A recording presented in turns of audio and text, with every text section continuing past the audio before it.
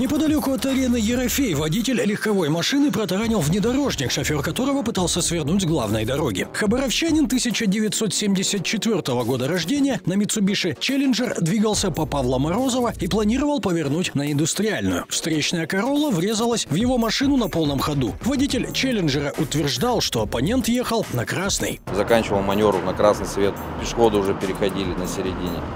Он без тормозного пути врезался просто-напросто. От удара двухтонный челленджер развернуло на 180 градусов. Его водитель не пострадал. А вот мужчина 1971 года рождения, который был за рулем Короллы, получил травму грудной клетки. В больницу он не поехал, чтобы лично отстаивать свои интересы. Он доказывал обратное, что светофор разрешал ему движение. Я был на зеленый ехал. Зеленый? Я ехал на зеленый, да, абсолютно. А как вы так врезались? Ну вот так, а он заворачивать начал. Записи видеорегистратора, которая могла бы расставить все точки над «и», ни у кого из участников аварии не оказалось. Это значит, что хабаровчанам предстоит длительная процедура дознания. Водитель «Короллы» вернул себе права только в марте. Он был лишен их за нетрезвое вождение.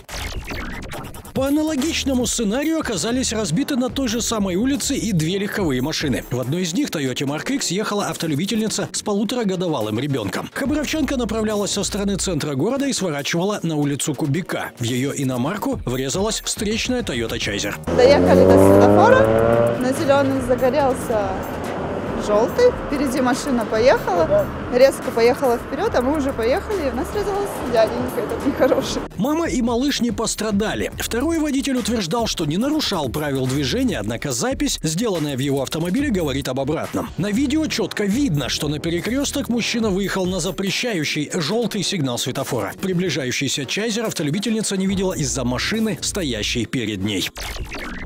А на въезде в поселок Гаровка водитель Витары сбил телку, выбежавшую на проезжую часть. Приехавшим затем на автоинспектором, автолюбитель предъявил запись видеорегистратора, сделанную еще в светлое время суток. Автолюбитель ехал со стороны Ракитного. Стадо вдоль правой обочины гнал пастух. Корова, которая еще не исполнилась и года, внезапно сменила курс и попыталась перебежать через дорогу. После сильного удара по крупу, телка по кличке Красава убежала в поле. Хозяева смогли отыскать перепуганное животное и вернуть в стойло. Пострадавший вызвали ветеринара. Корова заметно хромает. Есть надежда, что животное удастся выходить. Вопрос возмещения убытков автовладельцу открыт. Истребовать деньги с непосредственного виновника, безалаберного пастуха, шансов практически нет. Выходца из Средней Азии, подрядившегося следить за стадом коров, неважное материальное положение.